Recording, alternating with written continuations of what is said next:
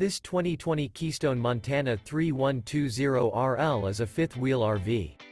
It is located in Muskegon, Michigan, 49442 and is offered for sale by Optimum RV, Muskegon.